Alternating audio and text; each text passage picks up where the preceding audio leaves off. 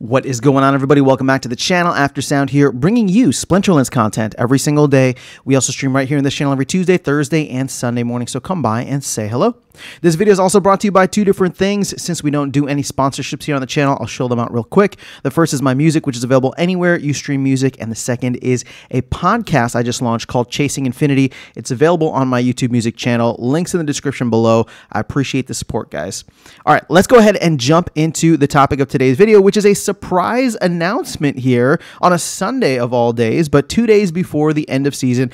And the timing is important, which is why I'm recording this as quickly as possible and getting the video out as quickly as possible because it does impact where you will, well, where you can benefit by not advancing as high potentially this season. So, what they are doing, uh, this is Royal Eagle making the announcement here. As we approach the end of the season, we want to give you heads up about an exciting change. So, during this Tuesday's maintenance window, we will int introduce loot chests for league tier advancements. So, you will receive loot chest only on your first advancement, right? Uh, to, to a tier within the season. For example, if you rank up from bronze 3 to bronze 2, you'll receive 5 loot chests. However, if you fall back and then go up again into bronze 2, you you won't get another set of chests. It's just for the first time that you cross as a little bit of a prize. Now they they're sharing the breakdown of this, and you can see here in bronze you only get minor chests, right? Those are the, the smallest and cheapest ones. So three, three, five in bronze three, bronze two, and bronze one respectively.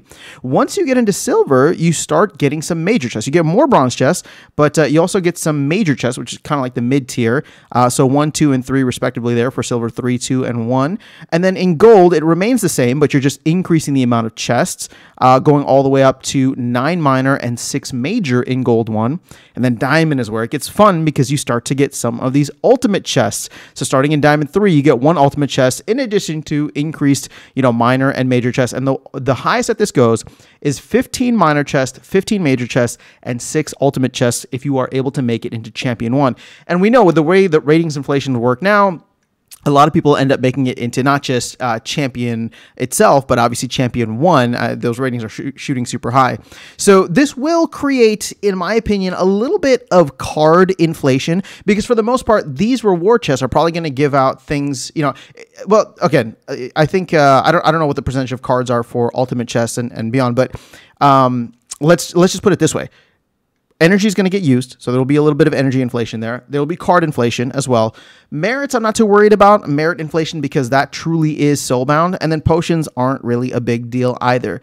But it is, you know, it is going to be something that impacts the amount of games that people will be able to play, especially at the higher leagues when you start getting these ultimate chests, right? If you're getting 11 uh, well i was just going to look at this so four or five uh, what's the math here? 15 additional ultimate chests right? Which are relatively expensive if you're going to spend glint on them but now you're, you're just going to get them for free if you start from from anywhere in diamond right and work your way all the way up to uh, to champion one.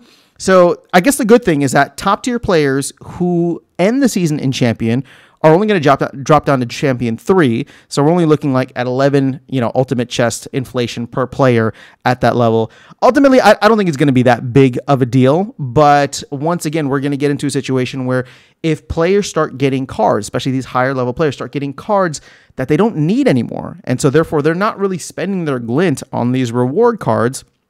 Um, those cards may end up on the market if they decide to unlock them. They may decide to just burn them for more glint, which is another option because they're then able to turn around and take that glint and spend it on more chest or probably energy, right? Which is the biggest thing that I've been focused on lately, glint for energy. So there will be a little bit of inflation there, whether it's for cards or whether those cards eventually get burned and turned into, uh, you know, glint for, for energy or something else. But ultimately, I'm not even worried about this from a higher level perspective. I think this probably plays in very nicely with the lower player or the, the we'll go like starter player perspective.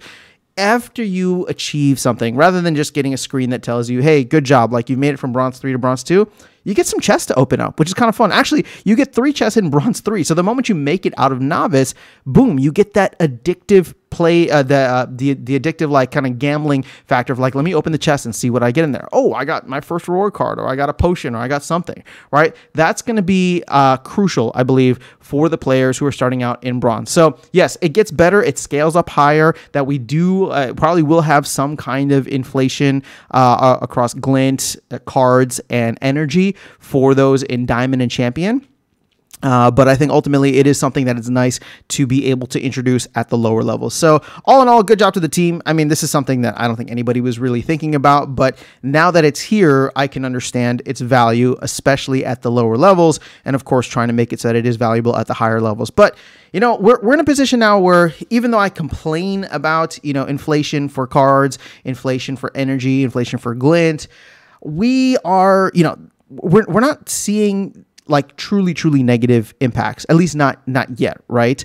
Um, I, I, think once we get into a situation where any of this becomes like really exploitable then we can talk about that but this is not i mean again it's it's a limited amount of chests it's a limited amount of players and let's be honest if we get more and more players coming in that are going and opening up chests in diamond and champion because they actually are buying the cards and or renting the cards and renting the SPS to achieve those levels, that's not a bad thing, right? That's not a bad thing overall. So I, I don't I don't want to be an alarmist here. I, I do think it adds a little bit to the inflation, but ultimately it ends up being a very positive thing and a positive experience for all of the new players that could potentially come into the game over the next couple of months. But that is all I have for you guys in this video. Let me know your thoughts in the comments below. Otherwise, I'll catch you in the next one and see you around the game. Take care.